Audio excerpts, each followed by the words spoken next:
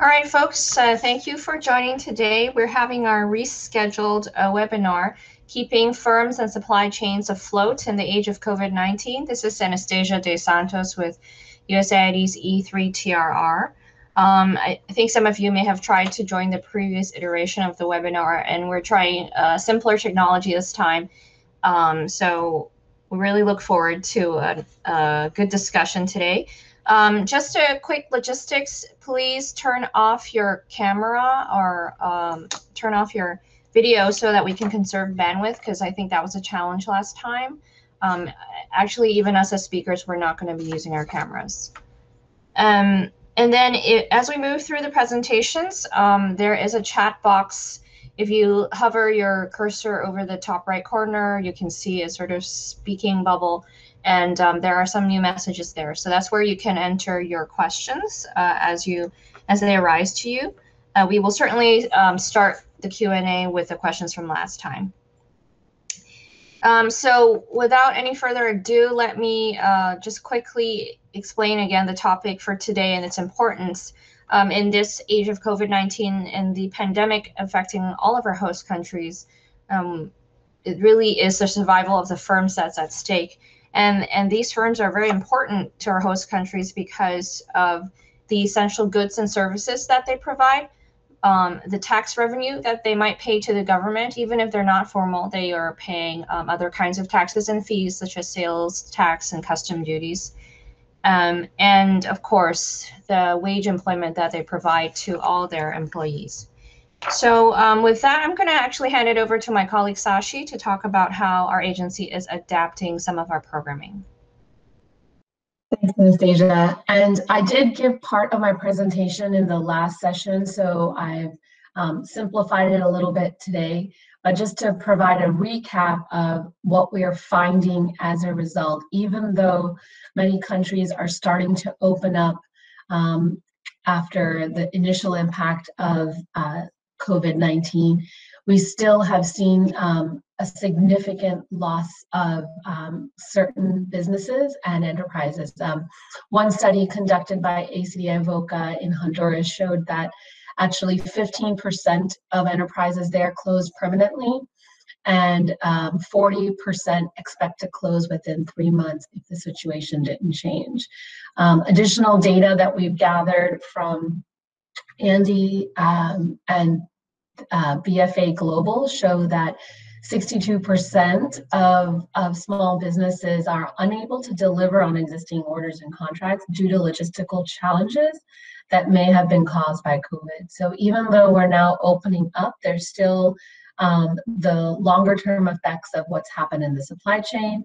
And then 40% of businesses, small businesses, um, have missed a financial payment. So this kind of highlights the, the challenge across the globe that we're facing, that uh, businesses are really facing a, a, lack of liquidity and cash flow, and many only have about four weeks of cash reserve to, to survive. And what's interesting is that actually not a lot of money is needed in, in according to research to survive the crisis. It's, it's often a loan of less than $50,000 that would be needed to survive. Um, but this is coming at the same time that we're seeing um, a, a 25 to 40% drop in investment. And so while there is a need for relief capital, um, we're actually having a reduction in, in, in investment. And so as donors and as implementing partners, we're trying to think of ways to essentially provide immediate support um, and that can be in the form of flexible financing, non-financial support, or uh, direct financial support to capacity development organizations. And we're going to go over a couple of those examples today, but I wanted to highlight one in India that was um, able to be designed at scale. This was being put together by our India mission with the government of India and the Indian Institute of Technology.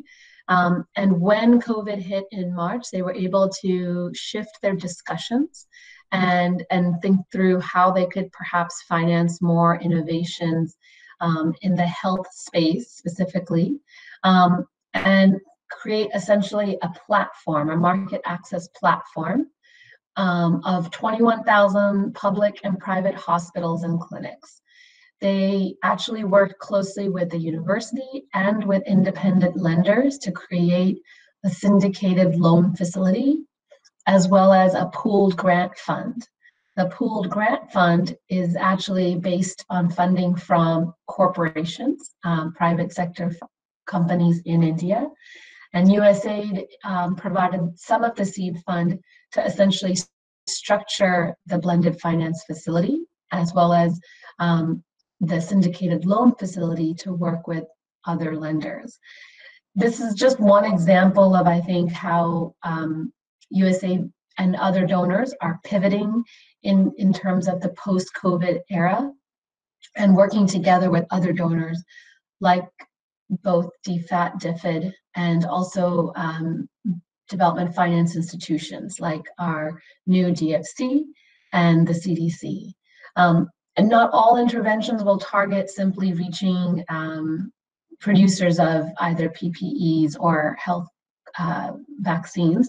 We're also looking at ways to just support essentially those that have been most um, affected by the supply chain. Um, finally, we, we have examples from some of our missions like Haiti and Tunisia that are, are looking at ways to just support the serious cash flow challenges and provide advisory services, again, at scale um, by looking at, at pooling capital and working with other private sector partners in the in the country uh, to essentially elongate loan terms to small businesses and find additional investment and essentially create um, somewhat of a pipeline for investors and essentially reduce the risk that um, investors are shying away from, from some of these countries. Um, another example from our colleagues from Feed the Future comes from um, their Partnering for Innovation program, in which they were able to pivot and take um, milestones that had been missed by prior partners in order to continue supporting grants from 50 to 150,000 um, to continue operations for certain SMEs. Now you can imagine this is not a lot of funding. It, it was a, a, total of, uh, I think, $1.2 million in funding uh, to support SMEs. But again, if um, across the board donors are, are able to pivot in this way, um, we will be able to at least mitigate some of the impact.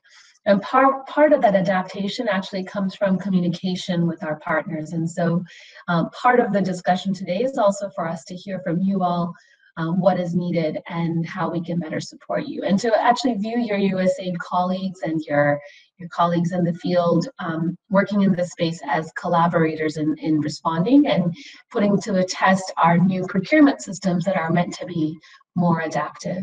Um, I'll turn it over to my colleague Thuy for a little bit more about how USAID Vietnam is, is working in this space. Thuy? Yes, hello everyone. My name is Thuy Nguyen. I'm with the Economic Growth and Governance Office of USAID Vietnam. It is my pleasure to share with you how USAID has helped Vietnamese businesses adapt to post-COVID supply chain realities. Despite sharing a land border with China where the coronavirus first emerged, Vietnam has reported only 340 cases and no death in a population of almost 100 million. It has not reported any new local cases in almost two months. Next slide, please. First, I would like to walk you through the challenges that Vietnamese uh, SMEs had to face even before COVID breakdown, breakout. Vietnamese SMEs account for 98. Oh, we are not seeing any slides. Mabu, can you help with the slides? Um, I think we can see some of them. I, I, I, maybe it has to do with the the screenshot that people are using, but it's pretty clear, Thuy. You can continue. Okay. Oh, oh, okay. Thank you. Yeah, and I would ask that folks please turn off your video.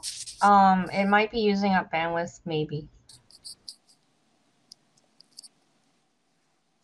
Okay, so again, first, um, I would like to walk you through the challenges that Vietnamese SME had to face even before the COVID breakout.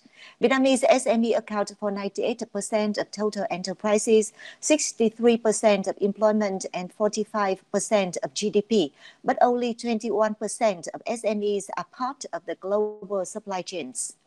In the meantime, FDI firms or lead firms account for 70% of Vietnamese exports. However, FDI firms often have their own foreign suppliers that are co-located in the same industrial zone. Processing and manufacturing are the two most attractive sectors among FDI firms in Vietnam. Moreover, the local content of Vietnamese SMEs export is low by regional and global standards because first, lack of solid support industry supporting industries. Second, low level of technology. And third, most SMEs cannot meet the FDI firm's requirements for quality and standards on goods and time delivery. Next slide, please. Now, COVID has impacted how COVID has impacted Vietnamese SMEs. According to the Ministry of Planning and Investment, MPI, most Vietnamese SMEs have hibernated over the past four months under the impact of the COVID pandemic. They have had to face a double challenge, including lack of input materials and sharp decrease in export markets. The most affected sectors are garment and textile, footwear, electronics, and automobile. MPI also conducted a survey on almost 130,000 enterprises in mid-April 2020 and found that 60, 86% of them are negatively impacted by COVID. The bigger the scale of their business is, the more impact they get. Similarly, the Prime Minister's Private Sector Development Committee, PSDC, conducted a survey on more than 1,200 SMEs in early April 2020, and they also confirmed the same results. Next slide, please. Given the current status, Vietnamese SMEs have proactively adopted a number of measures to cope with COVID. The most popular ones including reducing staff, reducing production costs, looking for new markets or focusing on product on domestic markets, reducing sales price, and even closing production temporarily. However, almost 20% of SMEs have no solutions. That means they do not know what to do. Next slide, please. The Vietnamese government has conducted many consultation sessions with the businesses. Most of them are online or virtual meetings to seek their recommendations to improve the situation. Typically, are you okay with the slides? Typically, on May 9, the Prime Minister had an online conference with businesses nationwide.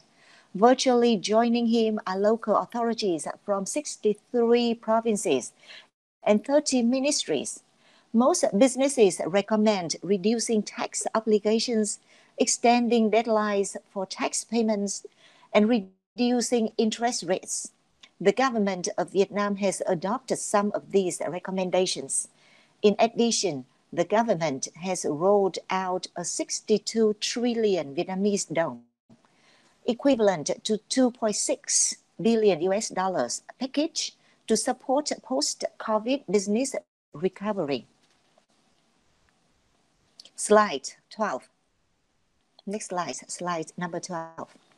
In late April 2020, the US government, through USAID, committed 5 million in economic support funds to mitigate the impact of the COVID pandemic on the Vietnamese economy. The funds will support USAID Links SME project to bring much needed resources to the private sector's recovery by first enhancing access to finance for businesses. Second, improving business support organizations, BSOs. And third, partnering with the government of Vietnam to bolster relief efforts. Links SME has worked with its government agencies to develop a post-COVID action plan, which includes three phases, stabilization, adaptation, and recovery, with the time frames reflected on the 12th slide. Next slide, please, slide number 13. Links SME is structured under three components, policy reforms, government to business interactions, and business to business linkages. Under component number one, Links SME collaborate with the Vietnamese government agencies led by the Office of the Government to review recently issued policies and regulations in order to propose corrective solutions. Propose solutions to improve effectiveness in state governance and study the trend of investment flows to propose policies to support businesses engaged in a new in new value chains. Next slide, slide number 14. Under component number two, Links SME conducts research to recommend a pilot digital administrative procedure reform to improve government to business interactions.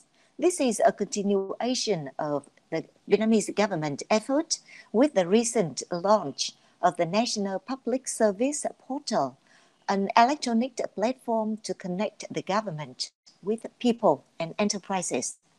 The portal has offered almost 300 services for businesses, which save a lot of time and money for businesses. These two photos were taken at a recent consultation sessions between the government and the businesses that Links SME provided support. Next slide, slide number 13. Links SME also focuses its support on component number three of business to business linkages.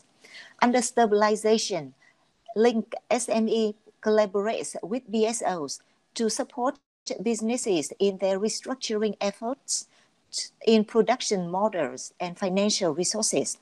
It will help improve and roll out the SME care tool to upgrade the performance of SMEs. It will also support the establishment of Vietnam Mentoring Network to provide tailor-made coaching services to SMEs. Next slide, slide number 60. Under adaptation, Links SME develops a training system, including online training for SMEs. It works with Vietnam Mentoring Network and BSOs to embed experts to SMEs. Given the complicated pandemic situation, digital transformation is an urgent requirement for any business. Links SME support SMEs in this transition process. Uh, VMN, it is a Vietnam Mentoring Network.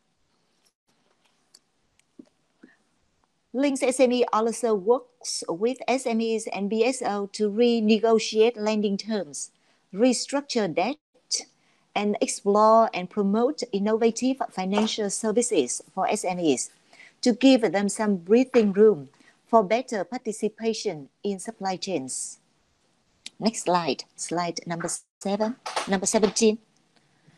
Under the recovery phase, Links SME will conduct experience sharing workshops among CEOs of lead firms and SMEs to promote the information exchange as well as business matching opportunities. As most manufacturing SMEs currently face the shortage in input materials and the decrease in export markets, Links SME will call for innovative ideas of new value chains and sustainable ecosystems. And over the past few months, business imaging sessions have become a new practice, and this will be replicated in the future. Next slide, slide number 18. Given the COVID pandemic, many garment and textile companies in Vietnam have reoriented their products to personal protective equipment (PPE). In this photo, the made in Vietnam isolation gowns produced by Thanh Garment Company are on their way to the US on April 22nd, 2020. This brings me to the end of my presentation. Thank you very much for your attention. And back to you, Shashi and Anastasia. Thank you, Thuy. Um, I think we'll move over to our colleague Yassine Sempore from our partner INP. Thank you, Sashi. Hello, everyone. So my name is Yassine Sempore, and I currently work for INP, Investisseurs and Partenaires, uh, which is an impact investing firm uh, that is dedicated to supporting uh, African entrepreneurs across the continent. Um, so today I'm going to tell you a little bit more about um, uh, the type of challenges that our portfolio companies have experienced since uh, the COVID-19 crisis and the type of solutions that we came up with in order to help them face the, the current situation. Uh, but before jumping into that, I wanted to give you um, a brief uh, overview of who we are and uh, the type of work that we've been doing with USAID over the past, the past two years. Um, so in a nutshell, INP stands for Investisseurs and Partenaires. It is a pioneering impact investing firm um, that is dedicated to provide adapted financial solutions to, um, to African entrepreneurs across the continent. Um, we focus on what we call um, the, the missing middle, meaning enterprises that have uh, uh, a financing needs between 10,000 euros to 3 million euros. And usually, uh, this type of enterprises are uh, either too young or too risky to attract uh, uh, financing from, uh, from traditional financial institutions. So um, our mandate is to intervene with, with this type of enterprises and to support them at different level of, of, the, um, of the, their maturity. And we are doing this uh, with uh, three type of uh, investment vehicles that we have launched over the past the past three years. Um, so next slide, please. Over the past uh, the past two years, we have partnered with uh, USAID in order to develop a program that is called the PACE Partnership to Accelerate Entrepre uh, Entrepreneurship. Um, and so we focused on uh, on the Sahel region, mainly on Burkina Faso, Niger, and Senegal, um, because it is where in the Sahel, where in uh, in West Africa actually, uh, the, the ecosystem is still poorly developed and uh, where early stage enterprises are still struggling to, act, to have access to financing and technical support uh, in order to, to start or to accelerate their business. So the purpose of uh, the grant that we received from USAID was to um, provide some recoverable grants uh, to high potential early stage enterprises uh, combining it, it, was also to combine the seed funding with uh, some coaching, uh, by and also organizing some peer learning events, etc., in order to help these enterprises maximize their chances uh, to uh, to obtain additional financing after the end of um, the acceleration uh, program. And so today uh, we have uh, we have financed about 24 SGBs that have been able to create or to maintain 108 jobs. Um, most of these enterprises are currently run by women. And it's also interesting to see that uh, about um, um, a year after the, the program, uh, most of uh, the SMEs are observing an average revenue growth of about 41%. And finally, um, we at this stage, five SMEs that we are supporting uh, have already um, uh, raised some additional financing from uh, from other uh, financial institutions. So this proves that with the necessary seed funding, the necessary coaching, um, even the, the, yeah, the, the most early um, enterprises in uh, the, uh, the most fragile uh, parts in, uh, on the continent can have access to, um, to the necessary financing in order to continue growing. Uh, but this, despite this, uh, this performance, we we know that over the past the past three months, actually, um, most of our portfolio companies have been experiencing a few challenges uh, due to the COVID-19. Uh, can we move to the next slide, please? and and so we, we did an initial assessment in order to to uh, to identify the type of type of um, of difficulties, the type of challenges that our portfolio companies were were experiencing. And um, the first result of uh, this assessment, assessment showed that half of, of our uh, portfolio companies were facing a high level of risk, with uh, most of them facing a very significant loss of revenue, about 25%, in, um, in some sectors that were uh, highly exposed to the to the current crisis, such as the textile sector, the education sector, some um, some companies in the agro um, agribusiness sector also. And as a result of uh, of uh, this decline in revenue, uh, some of them have are currently experiencing some uh, fragile cash situation. And uh, as a consequence, they had to to lay off part of um, of of their staff and so we observe about 20% um, of, uh, of their staff that have been put on temporary unemployment over the past uh, three months. However, on the other half of our portfolio, we see that uh, some companies are facing uh, moderate or low risk, depending on their sectors and also depending on their activity. Uh, we observed that some companies have been able to, to continue their activity by working uh, remotely, by re reorganizing their production processes, and therefore they have um, been um, uh, facing only moderate loss of revenue. We also have some, uh, some companies that have been able to uh, uh see this crisis as an opportunity to, to, to continue innovating and to adapt and transform their, their business models. It is typically the case for uh, enterprises in the, uh, the education sector, such as schools that have decided to, um, to digitalize more their learning contents uh, and other uh, companies, for example, in the, rain, uh, retail sector that have uh, been using the digital tools in order to, uh, to reach other type of, uh, of clients. Um, but to, to support the most fragile enterprises in, the, in this context, we came up with um, different solutions at two different levels. can we go to the next slide, please?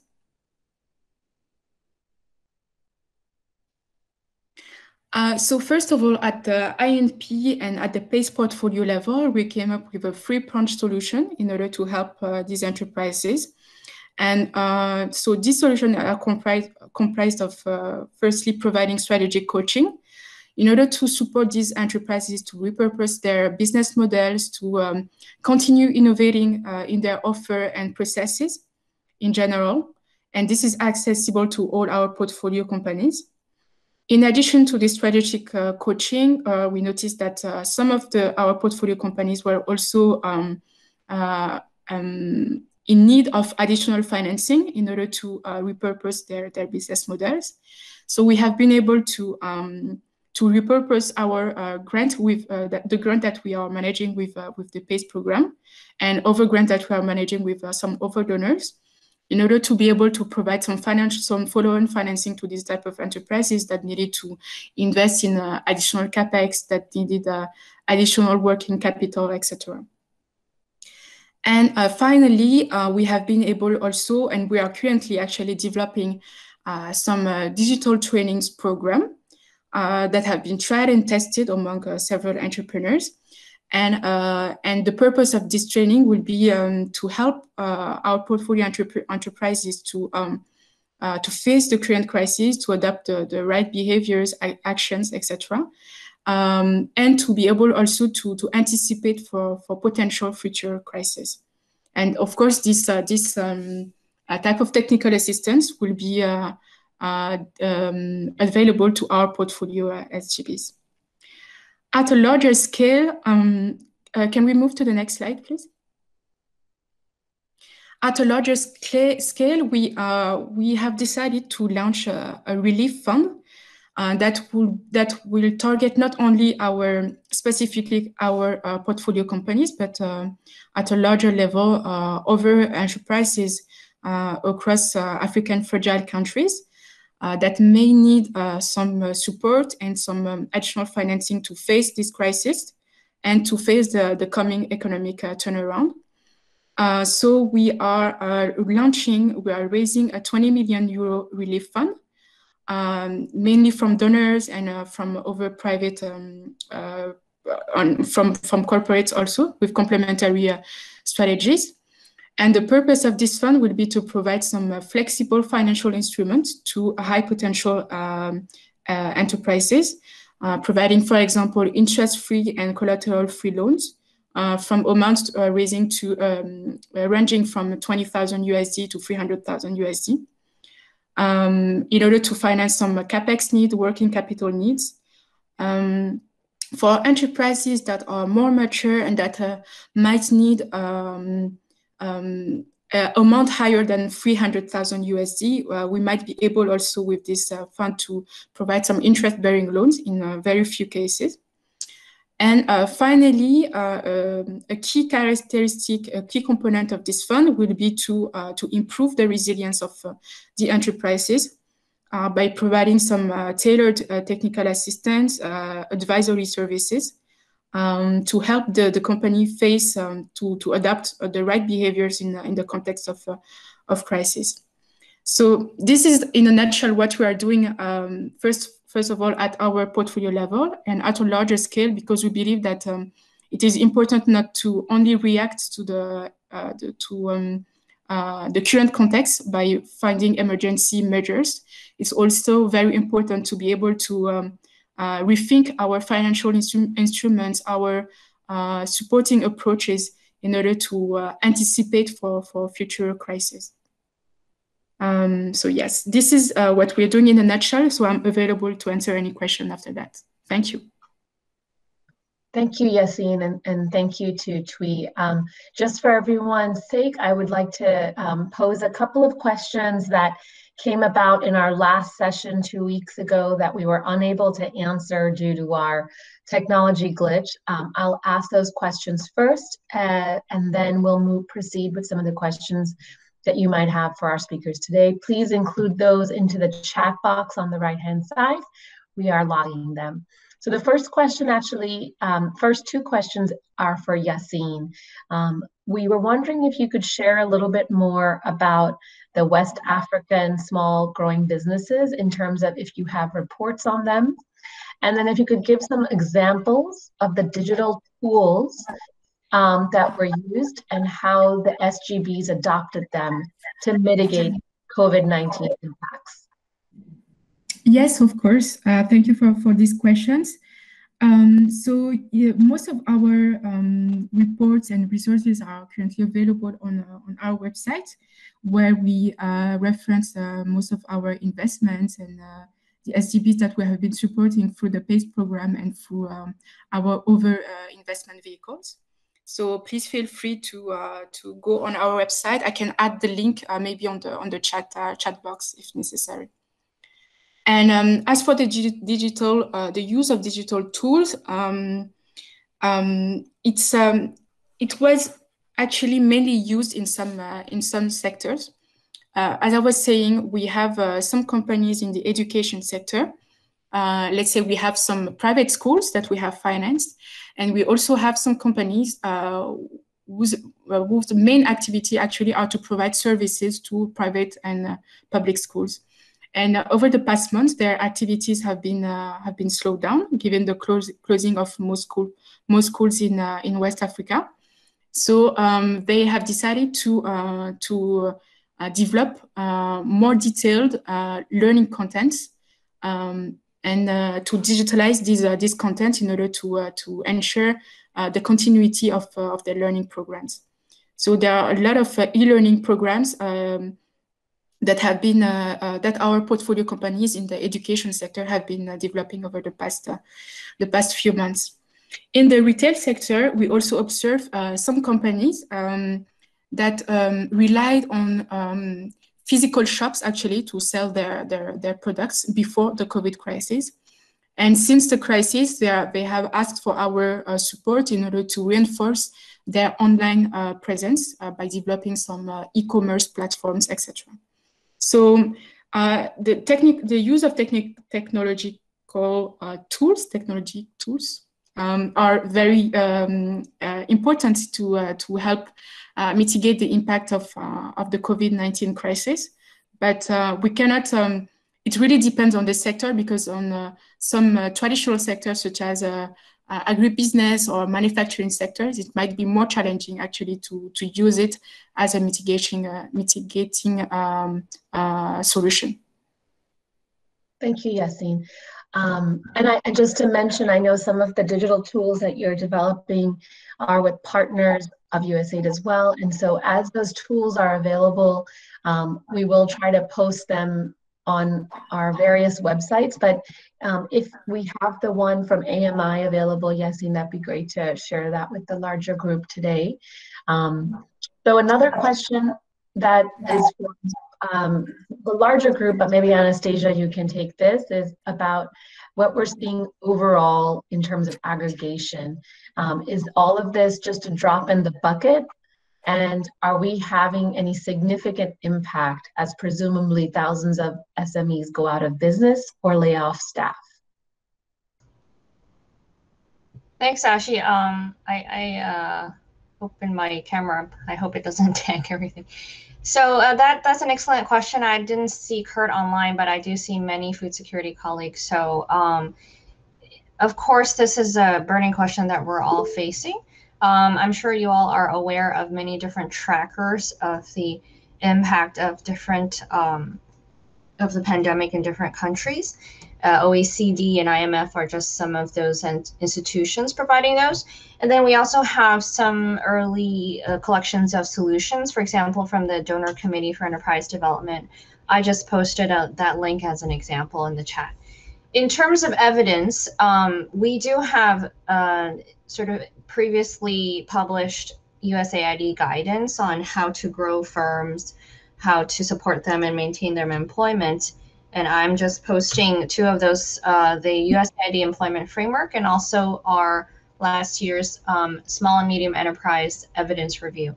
Of course, that's sort of very last year now, and, and none of it necessarily applies in the pandemic context.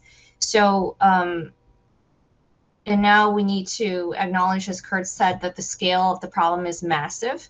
And some, maybe even most firms, depending on the sector, like tourism or any kind of personal service, is we have to accept that most of them are not going to survive or they depend on um, in person transactions. So we need to carefully consider how we're going to use our scarce resources. Um, we can't save everyone, and we shouldn't save everyone.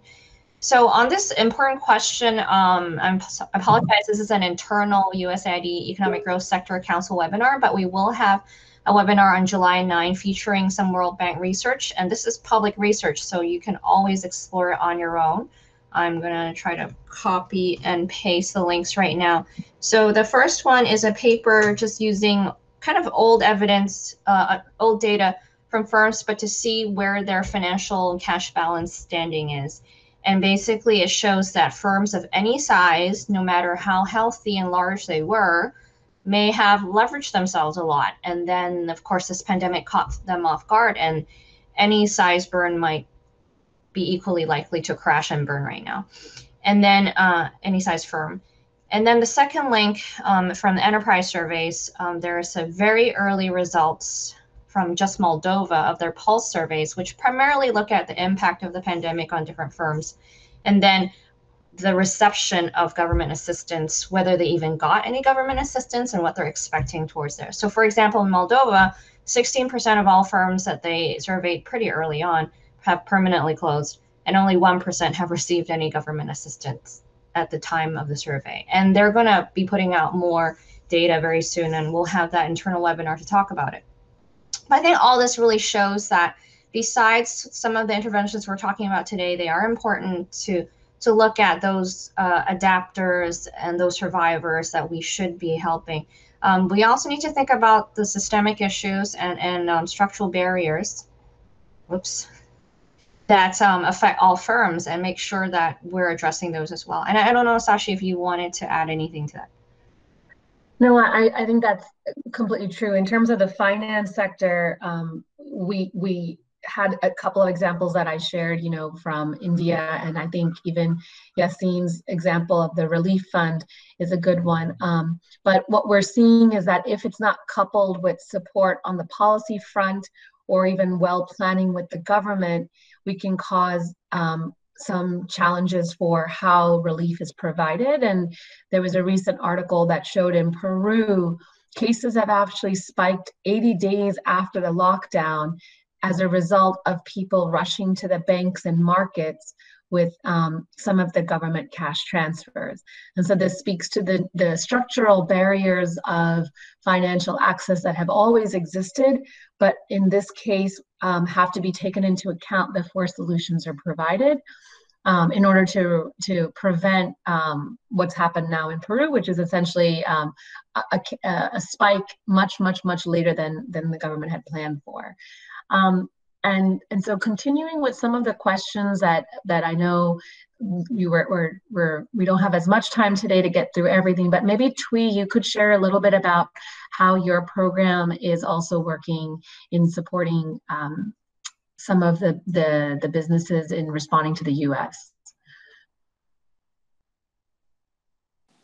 Thank you, uh, Sarchi. Uh, for the first uh, question, uh, who sets up the Vietnam Mentoring Network? This network uh, is established by our Vietnamese government counterpart, uh, the Agency for Enterprise Development. It is quite an open network, and it consists of the experts who can provide coaching, uh, capacity building services to business support organizations, BSOs, as well as uh, SMEs. Um, and the second question, uh, all for, uh, the survey is, is a very popular tool for in Vietnam nowadays. And, and for any surveys, we in collaboration with our counterparts, we try to combine both open-ended questions and multiple choice questions. The third question, and how uh, we targeted firms to benefits and link them to the demand in the US. So we support, uh, we try to promote uh, the linkages between SMEs and lead firms through two uh, channels.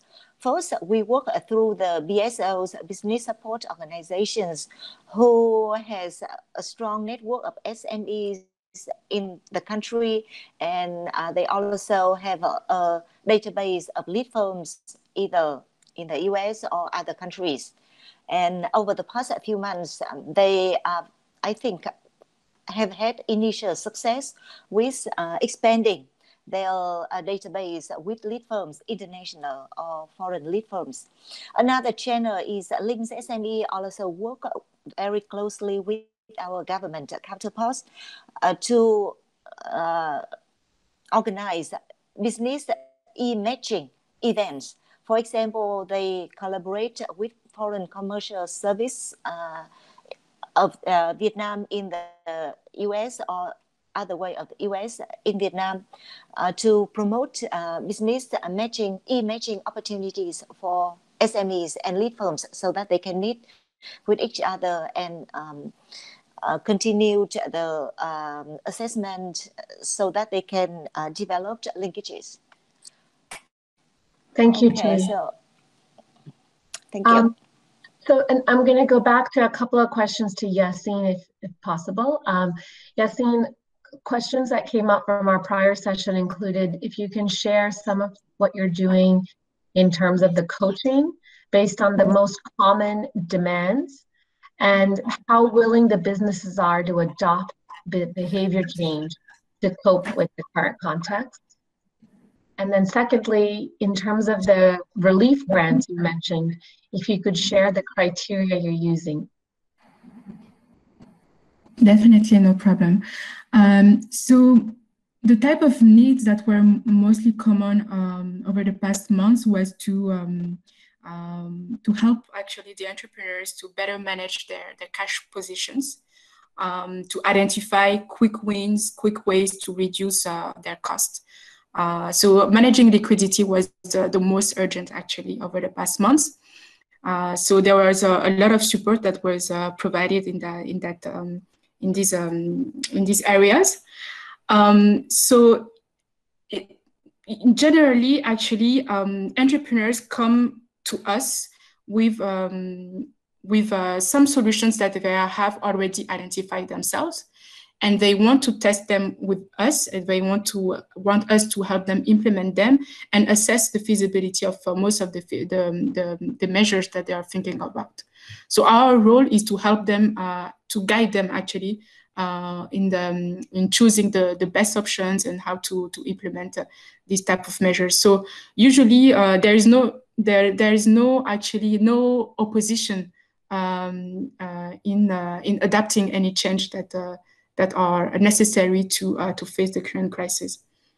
there is no um, top-down approach when when coaching this type of this type of entrepreneurs, and they propose things, and we we guide them to the best options that we think might be uh, most relevant to, to their activity and their, their sector in general. Um, the second question was about the criteria of the relief fund, right? Yeah, exactly. The relief grants and, and uh, the, how you're selecting your SGBs. Yes. Um, so about the, the relief fund, so um, at this stage, what we are doing uh, in order to uh, provide some emergency uh, financing to uh, our portfolio companies. Uh, we are repurposing using um, part of the grants that we received from uh, from USAID and from other donors in order to support uh, our portfolio companies. But given our um, limited resources, we need to prioritize some businesses. And we will focus, for example, on enterprises that have no, no other option of, of financing uh, will prioritize uh, enterprises uh, that had um, a good performance be before the COVID crisis to make sure that uh, the additional financing that we provide will be uh, used to, um, to address the fragile fragilities that were caused by the current crisis and not uh, used to cure prior fragil fragilities.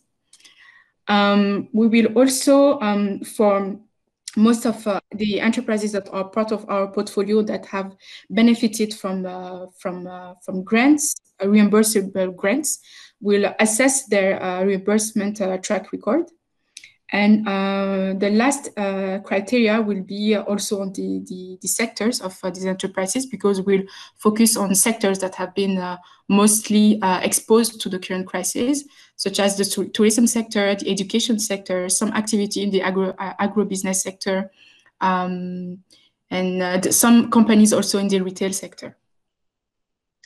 Great, thank you. Um, and just to mention, I think uh, the important point that we wanted to highlight in today's seminar is that um, with the new program income waiver that USAID has permitted, we are able to provide a little bit more easily um, this type of relief capital that that Yassine discussed, because we're essentially able to provide um, grants that can be repurposed for um, loans and or uh, with zero interest. Uh, a question for Thuy, actually. This is a, a, good question because I know there's been a lot of um, anecdotal evidence that the crisis has particularly been severe for um, women as a result of uh, the burden of child and elderly care.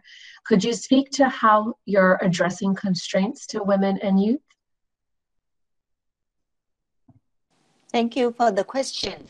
Actually, Links SME is not uh, specifically uh, designed for women-owned businesses. We are going to launch another uh, new project that will focus more on women.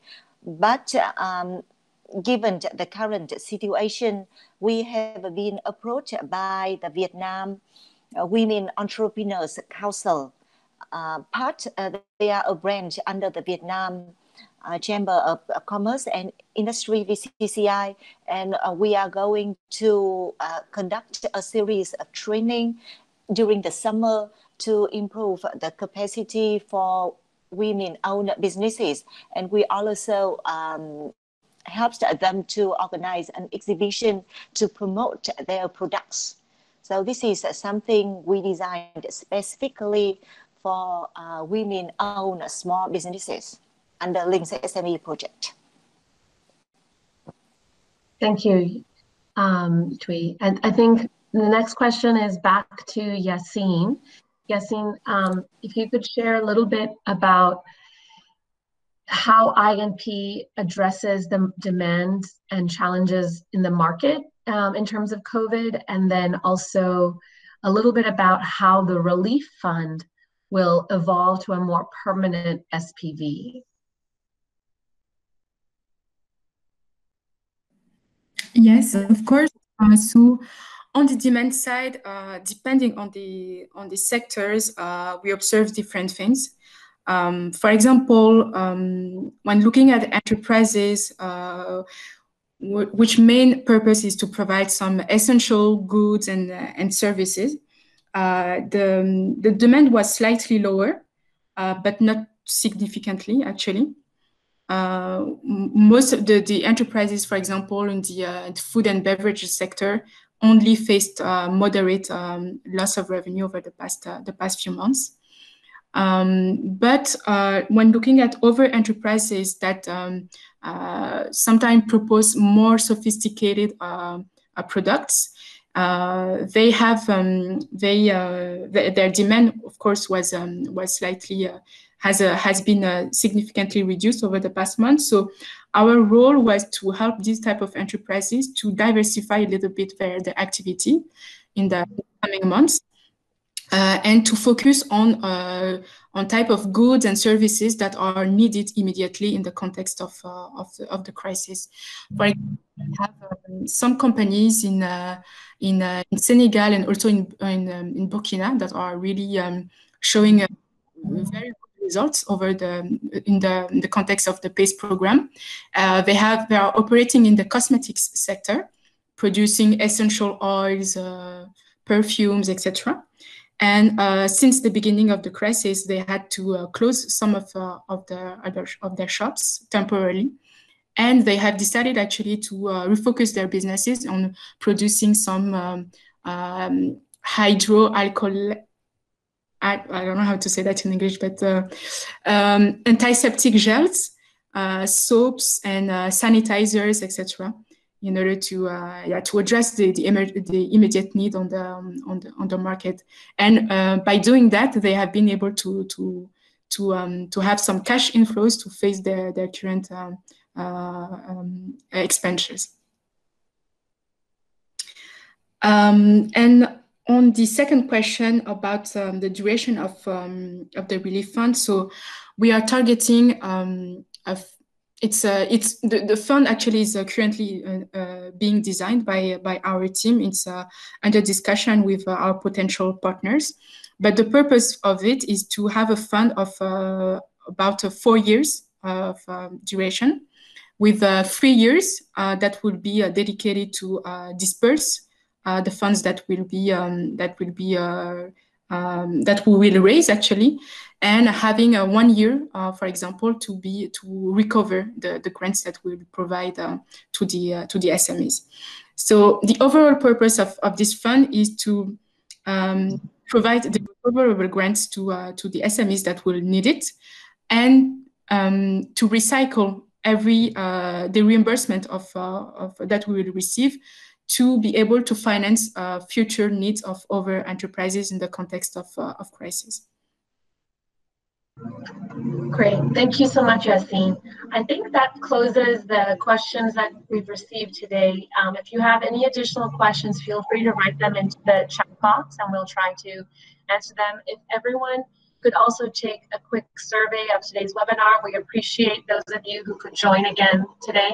I know it was um, a little difficult given last last the last session and the technology glitches. So we appreciate those of you who are able to join once again today. And if you have additional questions, do feel free to also um, reach out to any of us uh, via email. Thank you all and have a great rest of your day wherever you are.